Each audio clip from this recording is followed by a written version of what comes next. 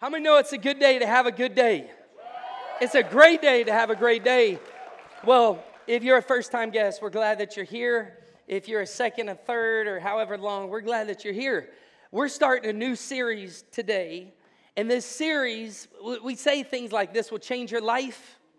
And sometimes when we say things like that, it loses the weight of it. But I truly believe this series will change your life because it's going to change your direction. It's going to change your direction. If you want to change your life, you got to change your direction. And that's what the series is going to do. And I'm so excited. How many like to fish? Any, any anglers here, you like to fish? Man, come on. All right, okay. Now there's, there's, okay, awesome. How many are like me? You like to fish. Like I love to go deep sea fishing because you know you show up, they got it all ready to go and they're like, man, here you go. And I'm not, oh man, I put the bait on and take the fish off. But there's a whole lot about fishing I don't know. Anybody like that? And so, man, to get on a boat, it's chartered. They know they got the whole thing. When when the knot on my reel is like bigger than the reel itself, they know how to fix it. And uh, you know, it's one thing, you know, just holding a rod and being able to reel up a fish. It's another thing to like know how to fish. And, and what I was thinking about this series, that's the gap. Because there's a lot of us here, we love to eat fish. How many y'all love to eat fish? Yeah, yeah, seafood. Come on, I love it, I love it. Joe Patti's, if you don't know, trust me on this. Joe Patti's, not too far from here. Everything you want. Um, but there's a gap, but there needs to be a gain. There's a gap because there, there's a lot of us here that like we we we kind of like like to fish, but we don't really know how to fish, but we really really really love to eat the fish. And so it's like, man, I would probably fish more if I knew how to fish. Navarre, how many of you are like that? Raise your hand. Pensacola, hold it up. How many say, like, I would probably fish more if I really knew what I was doing? Uh, uh, what I'm trying to say is, I, I don't have confidence in my fishing ability, my skills, right? Like the last thing I want to do, and the last thing you want to do probably is spend all day and not catch a thing. You ever been there before? Yeah, there's a reason why they call it fishing and not catching, right? But there's something happens every time there's a fish on moment. There's something that reawakens in me, and I was like, I was born for this. And after that second fish, I was like, I'm built for this. After that third fish, I'm like, I am eating all this. Come on, I, I love it. I love it. There's something special about fishing. The story I want to talk to you about today has everything to do with the series. In fact, the title of the message is Fish On. Because when you get a fish on the line, the goal is to get the fish on the boat. It's one thing to get a fish on the line. You're fishing for the mingos, and how many know dolphins love mingo, right? Don't be praying for dolphins, right? And your snapper, you're pulling these bigger fish coming up. They're like, thank you very much. I'm going to let you do the work. You tire them out. And I got them. But a fish on the line is one thing, but a fish in the boat is a game changer. You know, and here's what I know about fishermen fishermen have stories. They have stories. So I was thinking about some of my stories of fishing and a couple stories just, man, just kind of surfaced as I was sitting there thinking about it. First time I remember fishing, I went, I was probably three or four, no more than four. And I remember it was somewhere in Tennessee, Gatlinburg area, and it was at a pond, and I had the little kitty fish pole, you know what I'm talking about? Not a rod, the little Fisher Price or something. I remember doing that. I remember seeing the fish, and they're, they're swimming around. I'm like, oh my gosh, look at those fish. And I kept looking, looking, looking. And I've always had this energy. and so it led me to going face first in the water. And my eyes are open. Of course, I don't know how to swim yet. My eyes open, the fish, they're swimming all, and I'm trying to catch it with my hands. And I remember the unseen hand coming up and they grabbed me and picked me up out of the water. I was like, thanks, Dad. I wasn't sure how much longer I had. He's probably like, I was letting you sweat it out a little bit, you know. And uh, that was the first one. Then uh, fishing with Uncle Scott. We were in New York, upstate New York. We didn't have, ran out of bait. And he's like, you know what? I got some hot dogs. So he broke off pieces of the hot dog. We put it on, and I caught the biggest fish. At that time, I was probably fifth grade or so. Biggest fish I'd ever caught. It was a carp. It was pretty good sized fish. And I'll never forget that moment. It always endeared my heart to Uncle Scott because he took me to fish. Some of y'all have those moments, those relationships, those memories because of fishing. And, and, and, and we get to a certain age and stage in life where we remember it's not just about catching the fish, it's who we're doing it with. Not just the destination, it's the climb. Got to write a song about that or something. But uh, I remember that, man, and being so excited. And, and then I remember in third grade, we did Awanas at the church we were at. My dad was, uh, he was teaching at a Christian school, and he was getting ready to plan a brand new church. And, and uh, so, man, me and my buddies, we went to this thing called Awanas, and it was kind of like the Boy Scouts for Jesus. and so we learned Bible verses, and we had fun, and we had games and competitions, and we learned the Word of God at a young age. Learned the Word of God. Well, our leader, and thank God for leaders, which are volunteers. Thank God for volunteers. Our, our leader, we lived in Miami, and our leader, he was like, Man, I'm gonna take all you boys, and he paid for it. I'm gonna take you all deep sea fishing if you learn this many verses. So we were like, Learn the Bible. we were holding each other accountable. Learn the Bible, man. We got the Bible verses. He took us fishing. He paid for dinner at our favorite luxury restaurant. This was fine dining in third grade. Are you kidding me? They served fish. It was McDonald's. It was amazing. And we loaded up on all this grease. We loaded up on it. And then we got in the boat and went deep sea fishing. How many know that's not a good idea? We probably had 25 or 30 guys, and you can imagine what was the rest of the story. Yeah, we were. And I remember getting a catch, one of the first catches.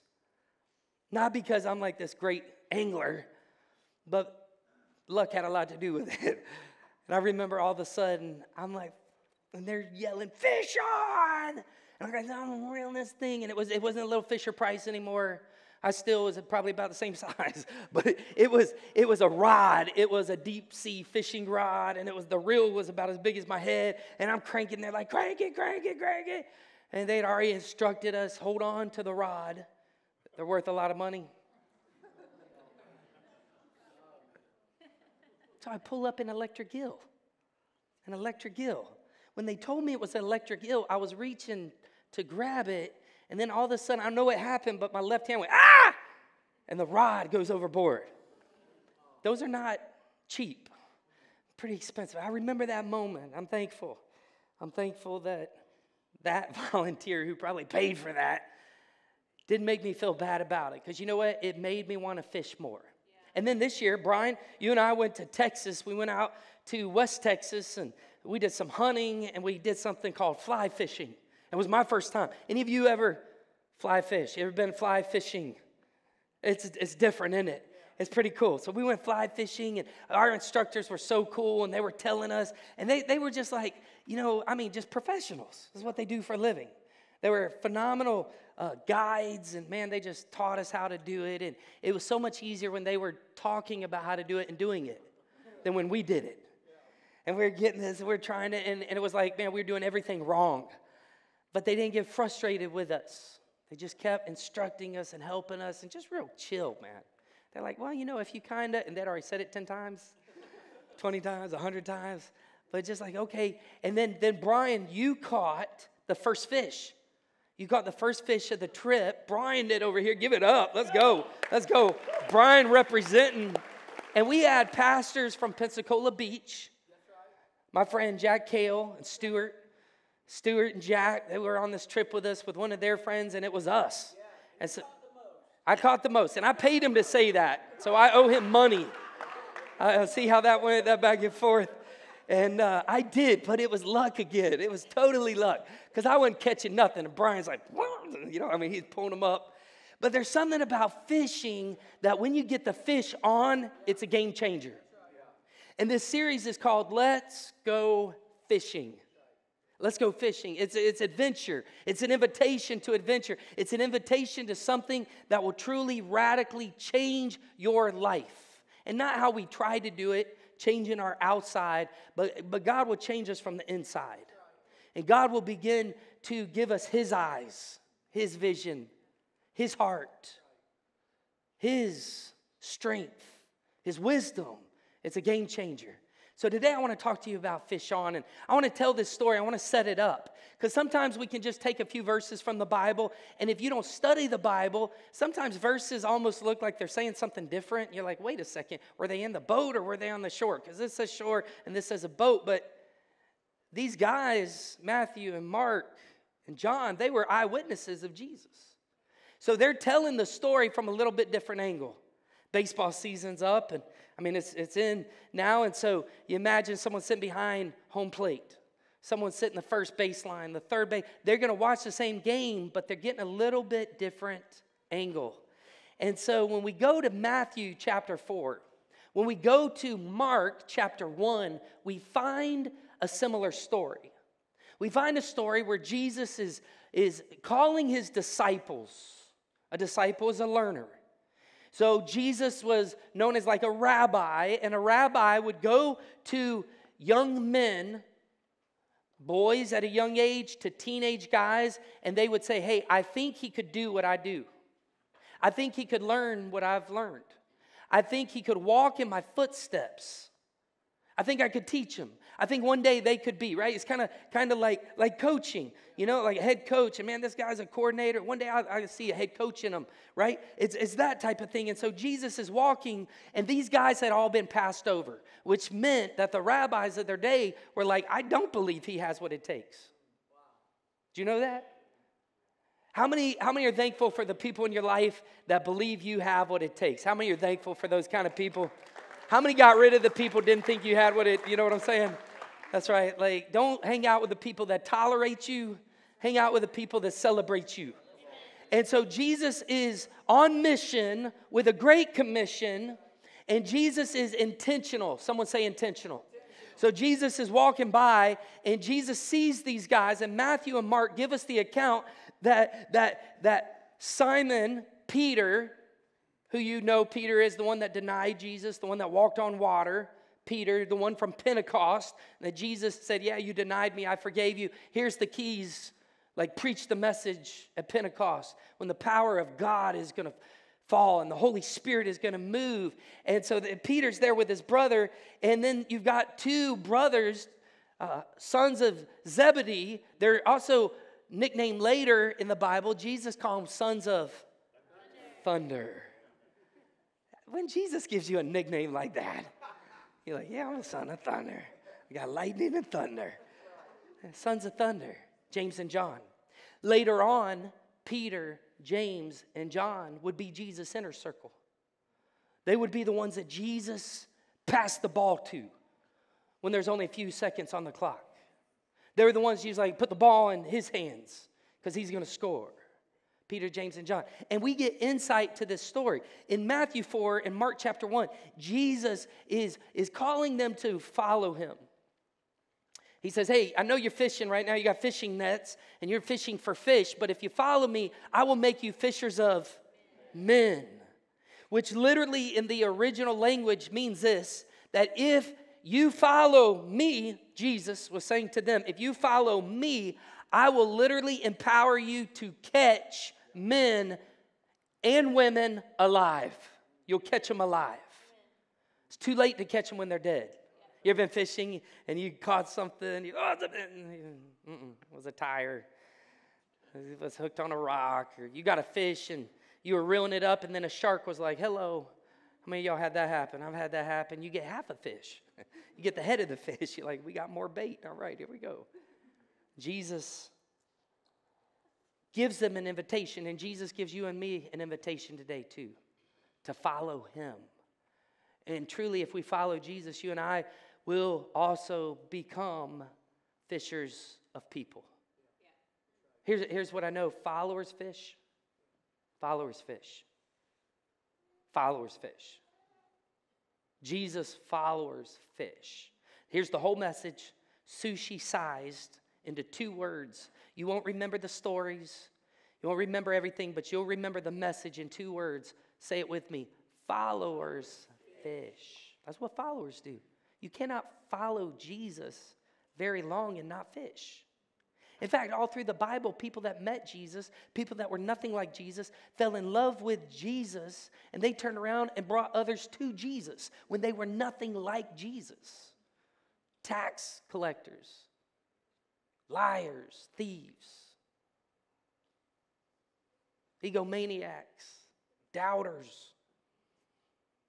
But they, they followed Jesus, and Jesus taught them how to fish. How many had someone in your life, a grandparent, a father, an uncle, a mother, grandma, I don't know, aunt? How, how many had someone teach you how to fish? And when I talk about fishing, it takes you back to some really good memories. Isn't that cool?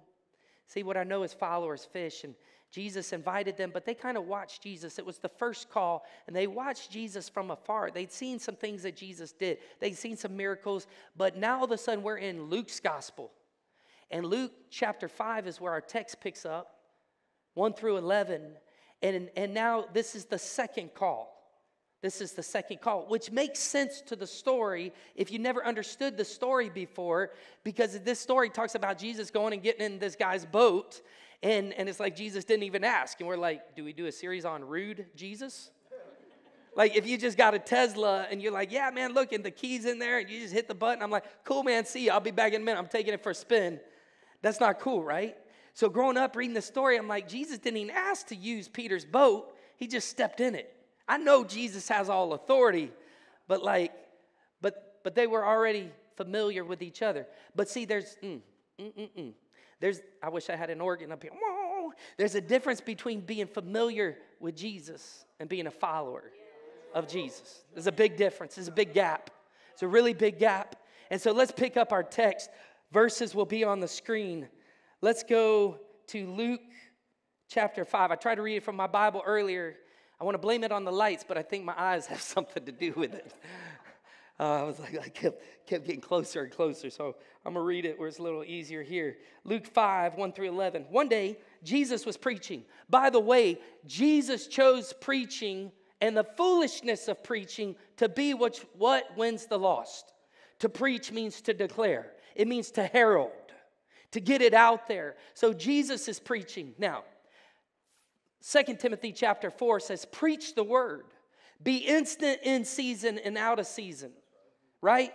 Like if I'm carrying a concealed gun, like I, have got one racked, one's in the chamber, I'm, I'm ready if danger should arise. So what Jesus is saying to preachers is, hey, hey, hey, you don't take a, it's not you don't have vacations, but you don't you don't take a moment off, man. Be ready to give the gospel. Be ready to preach the word. There are people need to be encouraged, encourage them. There are people that need to be corrected, lovingly correct them, but preach the word. And here Jesus is doing that. He's preaching, but he's preaching on the shore of Galilee. If you're unfamiliar with Israel, the Sea of Galilee is up at the north. How many of you ever heard the Jordan River? Uh huh. And then the Dead Sea. And that's how it goes. So most of Jesus' ministry was done up north. And Jesus did so much around the Sea of Galilee and Capernaum. I mean, Jesus was, he's just doing so much. And, and so most of his ministry, about 70% actually, was done up the northern part of, of Israel. And so he's preaching, he's at the Sea of Galilee, and what happens? Great crowds pressed in on him. And why they come in? To listen to the Word of God. You know why we come on Sundays? Because all of us need several things. All of us need several things. According to God's Word, we need preaching. We need preaching. And, and, and it's not my goal to preach at you, but to preach to you. Because I'm right with you. You with me? So it's not like, ah, you're dirty. No, no, no, no. It's like, man, I'm a sinner, but I've been saved by grace. And let me tell you something, man. This is something for all of us. This is something for me, as you'll hear about at the end of this message. But he's preaching, and what is he preaching? He's preaching the word of God, and crowds are coming. Now turn around. We got some empty seats in here. Not a lot, but we got some empty seats. Navarre, I'm trusting by faith that you guys are totally packed out today, right? Let's go. Blackwater, you men are packed out. But you know what? Wherever there's an empty seat, it's an opportunity to fish. Someone needs to fill that seat. See, because when we go fishing, what we're doing is we're trying to get what's way out there or way down there here. So we got to reel it in. And Jesus is reeling these people in. And what I love about Jesus was Jesus was real. And we're going to talk about that in this series. Let's go fishing. Jesus was real, and being real is what helps you and I reel them in.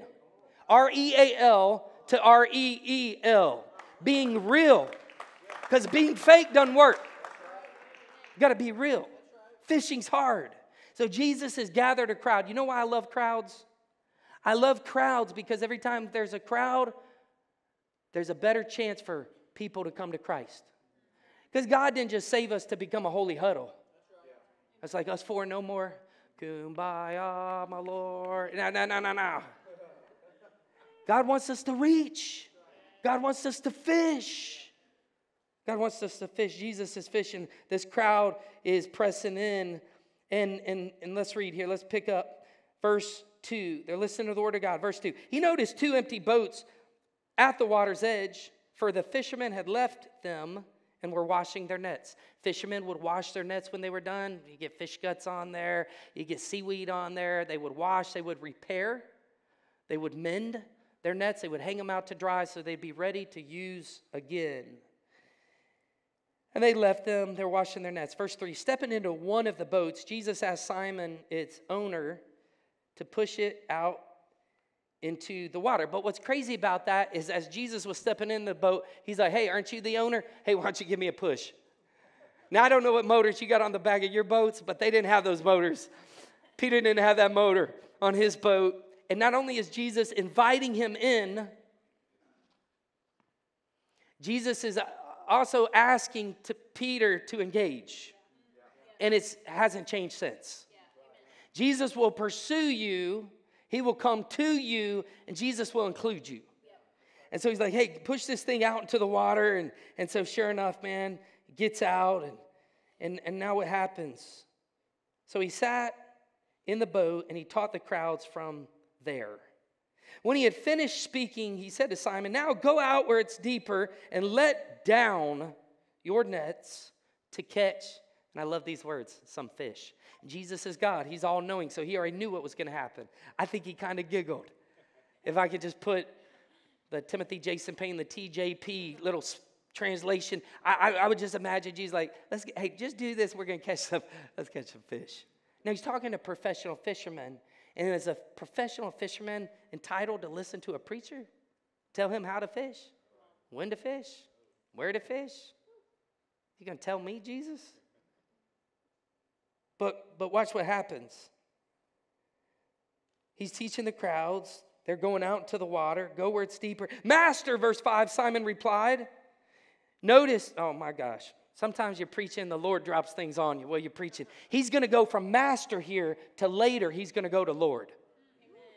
His conversion happens in this moment. And we'll get there in just a sec. Master, you're rabbi, you're the big dog. Master, Simon replied, we worked hard all last night. How many know what it is to work hard all night? Anybody know what it is to work all night? You stayed up, you're working, you wanted to be sleeping, you're studying, you got a test, you're cramming, you got the spiritual gift of pro, uh, procrastination, so you're cramming. You're it's not a spiritual gift. You're trying to get it in there. You're like, think, you're sleeping on it. Oh, come on, come on, let's go. You're, you're praying, Jesus, please, I know you're the God of miracles. You know, you're like, you should have studied earlier. you, you, you asking for a real big, a real big miracle right now, man. Um, and, and, and what's interesting here is that he's tired. See, working all night leaves you tired. And when you get tired, you get cranky, angry, hangry, frustrated. Every week, whenever I preach on something, the Lord's like, yeah, let's put a little bit um, seasoning of what you're going to talk about in your life. So this morning, someone in my family had grabbed my phone and taken it. Because right now, half of our family today is in Navarre, and half of us here in Pensacola. And, um, and so, anyways, our phones kind of look alike. So they took my phone. My notes was on my phone, and I don't preach like from my notes. I got a scripture on here, right? But like, but my phone wasn't there, which just caused all kinds of opportunities for attitude checks. And so I'm looking all over the house. I'm tearing the house. We got company coming over this after. We got we got lunch with a couple today. We got dinner tonight with uh, family from the church. And so, man, I'm just, I'm tearing up the house. I'm like, oh my goodness, Steph's going to kill me. Steph took, anyways, I didn't say that. But, uh, but uh, so, so anyhow, she's got this new cover and it looks like my cover, but it's got a little bling right there. But besides that, it looks like my cover. So she grabbed it, and and I was starting to feel a little fris- frustrated because I couldn't find what I needed. How many of you ever got frustrated, like as in today, yesterday? See, Peter is frustrated at this point, and we got to understand this. If we don't understand this, we, we don't get the story because he's fished all night. He didn't catch anything, which means he made no, because that's why he fishes. He fishes to feed. And he, he's frustrated. He wants to go home to his Tempur-Pedic. He wants to put his head on the pillow and forget it and then get another day of fishing. And see, just going fishing doesn't mean that the water's good, right? The wind's good. Sometimes he had to fish when it was storming. He, we don't even know how his day went. But Jesus said, Hey, let's go out further, drop those nets. Let's see if we can catch some fish here. And he goes from master, he says, I worked hard all night, didn't catch a thing, but if you say so, it's kind of like, Not my will, but your will be done. If you say, God, I don't think that's going to work. God, I don't understand why you took me through that. God, I, I don't want to lose that job. But God, at your will, God, at your word, be it unto me. God, not what I want, but what you want. Your kingdom come, your will be done on earth, even in my world, not just on the world, in the world, but in my world, your will be done on earth as it is in heaven. There's something about submission, there's something about surrender, there's something about realizing, Jesus, you're not just master, you're Lord. So if you say something that doesn't make, mm, my God, I'm starting to preach. If you say something that doesn't make sense to me, I can rest assured that you know something I don't know. That you already have seen my future. And you know the plans that you have for me, declares the Lord. And there are plans to give me a hope and a future. I don't understand why this is happening. I don't like what you're asking of me. This doesn't feel good. I'm not comfortable. I'm moody. Anybody ever been there? And I think Jesus just kind of grins and says, I understand. Come on. Because Jesus knows what hangs, my God, get this. Jesus knows what hangs in the balance of obedience. He knows. And it's, he, he doesn't just work all things for decency and just like, ah, hopefully it'll. No, no. Romans 8 28. All things work together all things, all things, not some things, not the good things, but all things work together for our good to those who love God, to those who are called according to his purpose.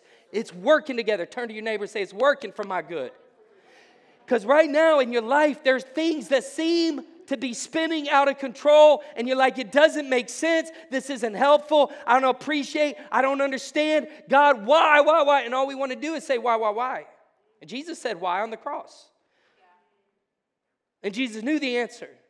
We say why? Because we don't know the answer. But it's knowing that He is the answer.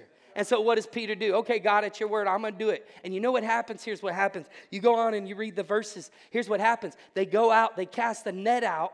Nets were, or nets were their nets. Nets were their primary means of fishing. They had the lead weights. They would cast them, and you got to learn how to cast if you want to catch. You got to. You got to. And that's what this series is going to be about. This series isn't just going to be about you need to do this as a Christian. The series is going to be like, you know what? I want to equip you how to do it. Because fishing is hard when you don't know. It's really fun when you do know. I don't want to go with a go on a boat, charter boat with a guy who's like, you know, I never really fished before. I sure hope we can find some fish today. Like, give me the guy with the numbers, the digits, the coordinates. I give, give me that guy, the fish finder, like the really expensive one. And the guy, give me that. That's I want to catch fish. And and Simon Peter surrenders, and they catch so many fish that Scripture says that the nets began to tear. Now that's a problem because your net is what's holding the fish. The net tears and the fish swim away. So you know what he did? He, he, he screamed out, Help! Because they're fishing partners, the sons of thunder, later would be nicknamed by Jesus. They were also out there on the shore, and so what they do? They get in their boat and they're going, they're trying to get there, and Peter's like, Hurry, hurry, get here quicker! So many fish that the nets begin to tear, but it doesn't stop there. And at this time, their nets were so full of fish, they began to tear. A shout for help brought the partners in the other boat, and soon both boats were filled with fish on the verge of sinking. I've never seen a boat on the verge of sinking because it had so many fish in there. That's crazy. So the nets are getting ready to tear. Now the boat's getting ready to sink, and now it's a totally different situation. Remember, he just fished. He just got out of the water fishing, hadn't caught a thing. And, and don't you know Jesus, who's creator of the world, he made the fish. It's his fish, it's his water. He gave us authority over the fish. That ought to be your life verse if you're an angler. God said, I give you authority over all the fish of the sea. That's right. You are made to slay them. You were created to slay them. Just accept it by faith. I'm a fish slayer. They don't want none of me. They see me, they swimming away. You're given authority. But you know what? Jesus has so much authority. I, I just bet Jesus had that thought and he said, Fish, swim into the net. And now all of a sudden, so many different fish, type of fish, big fish, small fish. There's so many fish in this net. Now they're in the boat and the boat's starting to sink. And watch what happens. Watch what happens. When Simon Peter realized what happened, when Simon Peter realized what happened, he fell to his knees before Jesus. And he said, Oh, oh, oh Lord, oh, oh Lord. See, he went from master to Lord.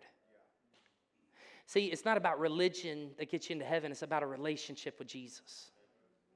See, see, master is like what everyone calls him, Lord is more personal. He had a conversion moment at this point. Scripture says in Romans 10 9, if you confess with your mouth that Jesus is Lord and believe in your heart God raised him from the dead, you'll be saved. You'll be forgiven. You'll be made new. God will declare you righteous. All your sin is gone, gone. And when God looks at you, he sees Jesus and his goodness and his righteousness. And here's Peter's conversion moment which happened during the second call that Jesus, see, Jesus didn't give up. In Matthew 4 and Mark chapter 1, Jesus had already invited them to come, but just because you invite someone doesn't mean they come the first time. You with me? You got to keep inviting them. Jesus knew what hung in the balance. He knew that on the second invitation, that Peter would become a Christian, a Christ follower, a disciple, and he knew what that meant for the church. And he knew what that meant for the world because he was going to not only catch him, but he was later going to release him. And Peter was going to go after Jews and teach them that Jesus was the Messiah and is the Messiah. He falls to his knees and he says, he says to him, he realized what happened. And he said this, Oh Lord, please leave me. I'm such a sinful man. See, he confessed his sin and he declared Jesus Lord. And that's all it takes to come to Christ. Amen. That's all it takes.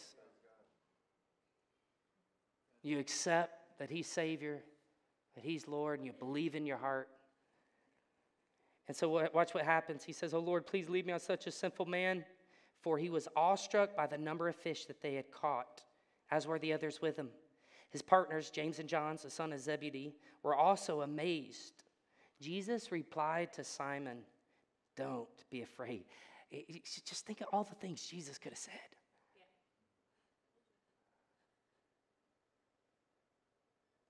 And Jesus says, Don't be afraid. Could it be that you got the wrong idea about Jesus? Could it be that your shame is not what he wants to smear in your face, it's actually what he wants to get rid of? That the hurt that's still there, he's not there to, oh, that, oh, oh, oh, that, that hurts right there, that muscle sore, oh, that one right there. Could it be that he actually just wants to heal? Could it be that he wants to take fear away? Because fear is actually the opposite of love. And he says here, I love this. Don't be afraid. From now on, you'll be fishing for people. And as soon as they landed, they left everything and they followed Jesus. They left everything and followed Jesus. They didn't do it the first time, but they did it that time. Why? Because they realized he was more than master, he was Lord. He is in full control. That's called sovereignty. I want to just confess. Confession is good for the soul, and I want to have a confessing moment. Um, I went to Bible school here in Pensacola, and, and my major was evangelism. So if you know anything about me, my heart is to lead people to Jesus. That's why I exist. That's why our church exists to lead people to passionately follow Jesus. That's our mission to lead people to passionately follow Jesus. But, but they won't follow him if they never hear about him. And there are people in this area that don't even know John 3:16. Aren't we in the South? Isn't this kind of the Bible belt? People don't. I'm telling you, I ask people all the time at restaurants, have you ever heard of John 3:16? I don't know what you're talking about. Who's John? Juan? Who, who are you talking about here? There are people that don't even know. And so I graduated, interned at this church two and a half years, and stayed the whole summer afterwards and got licensed, which means the men of God put their hands on me and prayed over me and said, We recognize God's hand is on this young man. I was 20, 22 at the time. Golly, 1998, August, and they prayed over me, and man, men of God prayed over me, and it was a holy moment. I was crying. They were crying. They were weeping. And um, that night, there was a guy that I worked for in town off of Pace. Uh, it was Nebraska Prime Meats. I used to drive one of the big trucks. It was a freezer truck, and I would deliver monthly, you know, and I'd deliver like, you know, uh, steaks and all kinds of ribs and all that kind of stuff, and sometimes freezers. And, and there were two guys, the owner and the co owner, they were both alcoholics. When I was in college, my sophomore year, they took me out on their boat. I hadn't been out on the boat, hadn't been out on a boat like that ever. And I just remember, like, this is living. As we left the land and we are going out, and I'm watching it get further and further away, I was like, oh, yeah, I could get used to this. And they, they were so unlike Jesus, and people that don't know Jesus are unlike Jesus. Fish actually smell like fish, fish are actually messy. So we can't be pharisaical and, oh, that person, I'm going to get near that person. That fish smell like fish. And you smelled before you were caught. And maybe you still smell a little bit.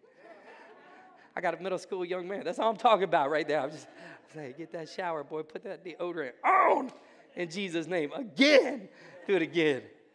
Well, long story short, long story short, God was working my heart. And I would say different things and be light and be salt. And I believe, like in our heart, as Christians, I believe in what's called lifestyle evangelism that we ought to just live Jesus every day. Like I ought to walk with Jesus. I ought to talk like Jesus. I ought to have the love of God. I'm not perfect. I am forgiven, but I got to shine my light. Scripture says, be ready to give everyone an answer of the hope that's within you. So if I'm a Christian walk around like I've been sucking on a lemon, ain't nobody gonna want what I have. They're gonna, right? But there ought to be something different in me that people are like, man, when I walk into a place, the atmosphere ought to shift. Because greater is he that's in me than he that's in the world. And I stepped into the room, which means the power of Almighty God stepped into the room. The same power that raised Jesus from the dead is present if you didn't know. Are you with me? That's what I carry inside me. That's what you carry inside you. And so man, God's working on my heart. and I need to lead this guy to, to Christ. And I've been trying to lifestyle evangelism, but I also believe Proverbs tells us whoever wins souls is wise. In other words, you got to be wise to win souls, but if you win souls, you're also wise because you actually get it. You actually get that heaven isn't, heaven, heaven, or excuse me, here on earth wasn't just about filling seats, it's about filling heaven. That followers fish is what we do. It's not, it's not we're a used car salesman, nothing knocking that if you are. I don't mean it like that, but I'm not forcing you. Let's, let's do one better than that. That's a bad rap. Let's go timeshare. How about that? Let's go old school timeshare. You know what I'm saying? And the fifth person comes in, the sixth person, you're like, okay, I can do it. And you get a timeshare. You talk me into it. You twist my arm enough. All right, here we go. Um, that's not what we're called to do, but we are called to go and tell. We are called to tell people that there's a Savior, He loves you.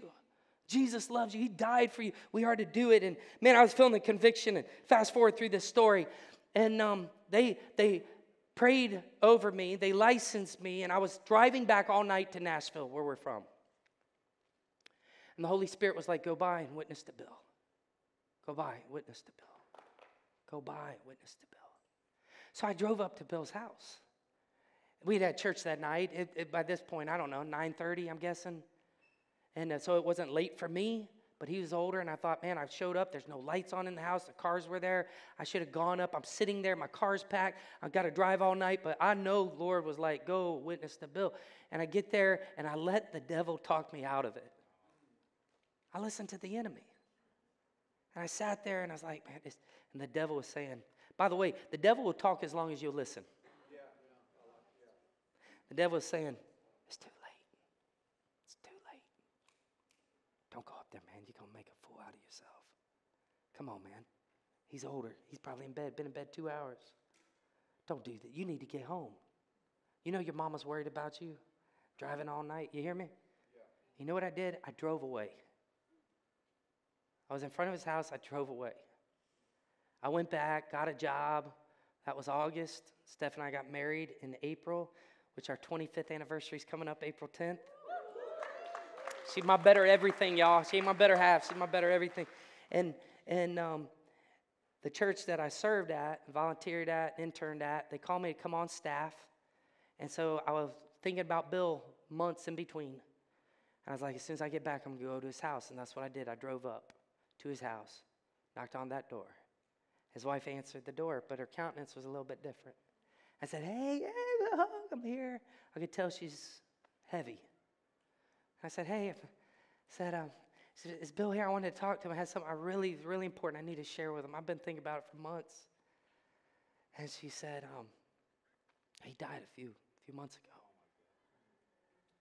And in that moment, I can't tell you how I felt. I can't tell you everything that ran through my mind because I wasn't obedient. I felt the weight of someone's eternity when I knew, when I went to Bible college, when I majored in fishing for people. it still puts tears in my eyes to this day.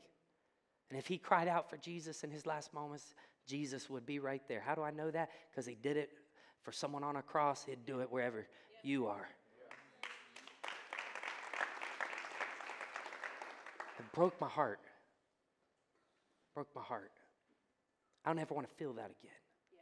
So I want to wrap up this message. And um, I, I need my friend Bogley here. You wonder why we've been watching Bogley. Bogley is a beautiful fish. He says, uh oh. Um, see, you, disciples were catching fish with the nets. How many think I can catch him?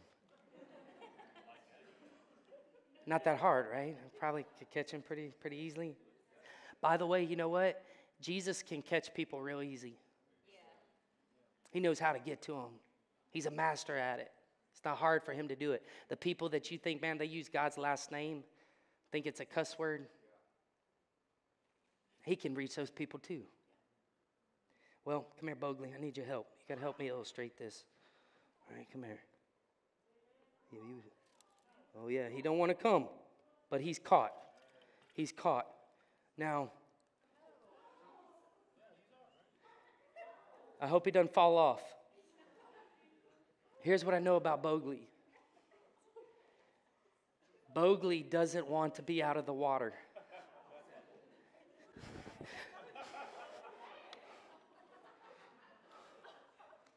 Did he make it? I saved him. I saved him. Woo!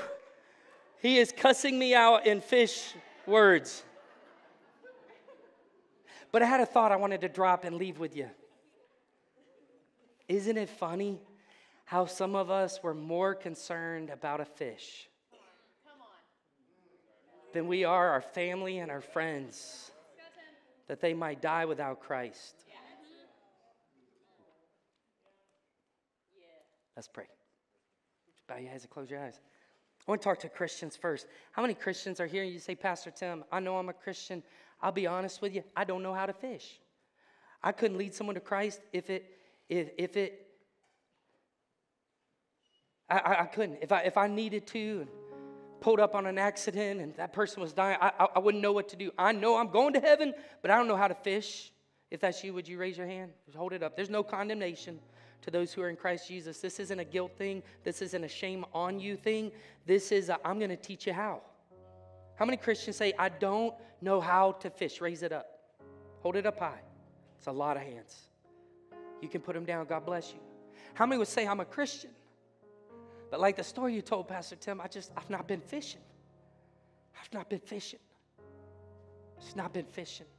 I know followers fish, but I've not been fishing. How many would say that? You just raise your hand and say, I just, I've not been fishing. I've been, there's a lot of hands, a lot of hands. All right, now if you're a Christian, whether you raise your hand the first time or second time, but you want to go fishing, want to go on the biggest, best adventure of your life. Jesus said, If you follow me, I'll make you fishers of men. And I would say this if you and I aren't catching men and women alive, then who are we following? Because Jesus doesn't lie, and He said, If we follow Him, we would catch fish. He said, If we followed Him, we'd catch people. We catch men, we catch women alive. There's some of you here today, it's your chance to be caught by the net of God's love, which is spread so wide, the hook of the gospel, the fact that God loves you so much, He died on the cross, He shed His blood because you were born a sinner and you chose sin. No one taught you how to steal. No one taught you how to lie. No one taught you how to get angry and just lose it. No one taught you that. It, it was, it was just our nature. Because, because Adam and Eve, they sinned and sin spread, and because sin spread, death spread. And so Jesus said, Well, you know what? I will substitute and I will die. I will take their place. The, the righteous died for the sinful so the sinful could become righteous. And Jesus on that cross, Father God turning his back on him, Jesus spread out his hand, said, I love you this much. He died on the cross. He shed his blood. He, he, couldn't, he couldn't have passed out and died. Jesus had to shed his blood. Without the shedding of blood, there's no forgiveness of sins. Jesus had to die. He is the Lamb of God to be slaughtered for the world, including your world. That's how much Jesus, He ran to you. He ran to you. I love the verse that says, While we were sinners, Christ died for us. Thank you. Romans, Well, we were sinners, Christ died for us. Why did He die? Because He's for you. He already took your place. He knows you can't get a hundred. He knows you're a, a, sinner by birth and a sinner by choice. He knows you you have so many hurts and habits and hangups and sin that, that has destroyed parts of your lives. And he knows it so much, he did something 2,000 years ago. He died on a cross. He said, I'll pay for their sin. Give me the bill. I'll pay it, the whole bill and the tip, once and for all, in full, I'll pay it. And Jesus paid for all of your sins so that you could receive a free gift heaven.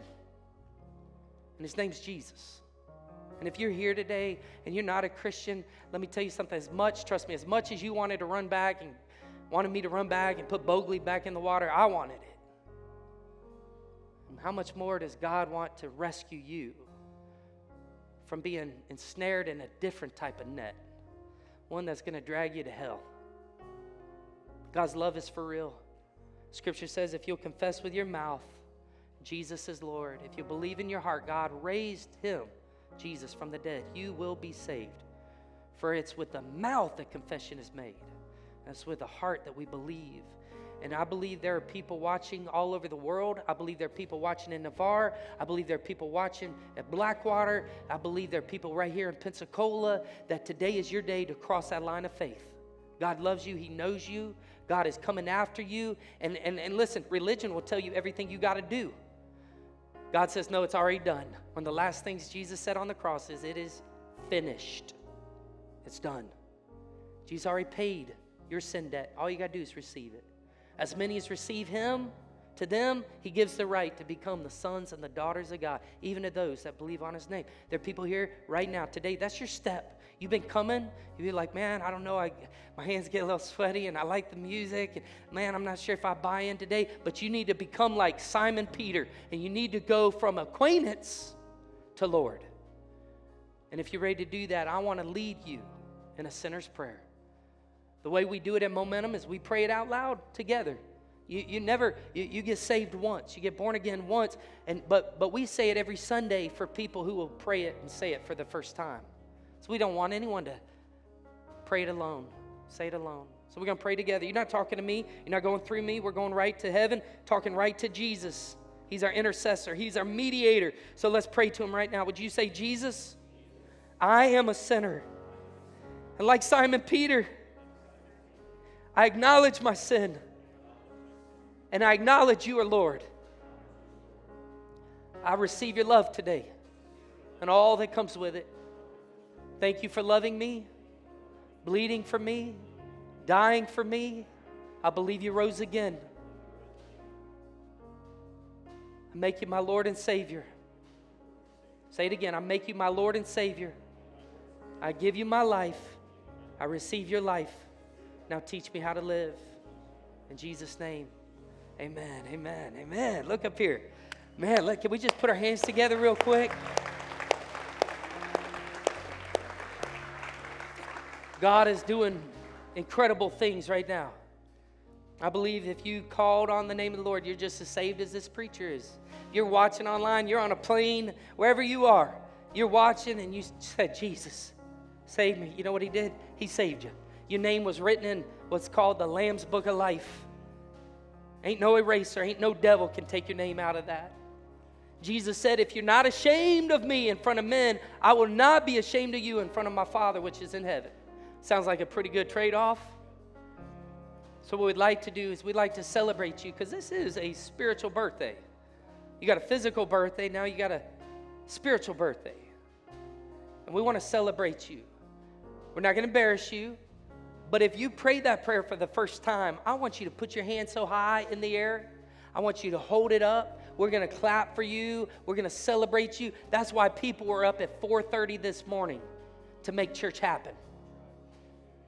That's why people get up. That's their why. To lead people to passionately follow Jesus. And how will they know if they can't hear? And how will they hear without a preacher? And so if you made that decision, man, hold it up. You're watching online, Facebook, you're watching, let us know in the chat. Tell us, Jesus made me new. We want to follow up with you. Would you do that on the count of three? I want you to be bold. I want you to be courageous. On the count of three, I want you to put that hand in the air. Here we go. One, two, three. Hold it up. Shoot it up. Let's go. Put that hand up. God bless you. God bless you. Let's go. Come on. Let's go, Blackwater. God bless you. God bless you. Let's go. God bless you. One, two, three. Let's go. Come on. Let's go, momentum. Come on. Let's go.